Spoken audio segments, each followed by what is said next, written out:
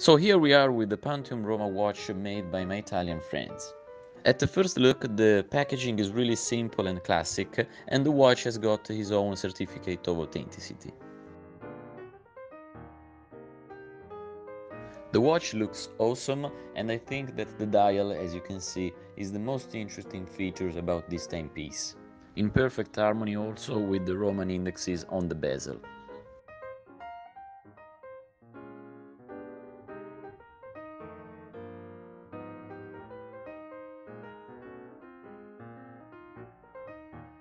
As you can understand from the name of the brand, Pantheum Roma is inspired by the Pantheon, a former Roman temple, characterized basically by a coffered dome with a central opening which is called oculus. And this is also what inspired the dial itself.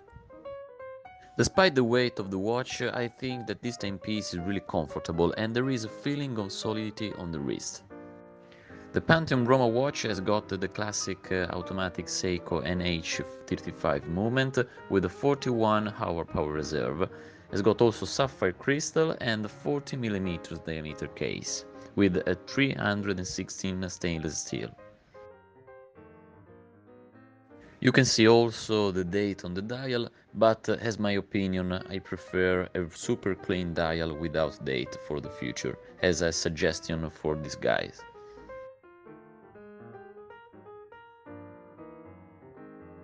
All these timepieces are available in different colors. This watch is characterized also by a screw-down crown and a screw-down case back with a water resistance of 200 meters. So if you want something different, inspired by an historical temple, this watch is a good choice for you. So let me know what you think about in the comments and remember to subscribe to my channel.